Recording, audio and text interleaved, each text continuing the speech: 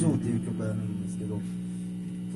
寺の町五甲町の五条あたりにファクトリー京都っていうボタンっていうスペースがあってそこに僕は去年までほとんど住んでたような感じだったんですけど今年一乗寺に引っ越ししてからあのあんまり行けなくなったんですけど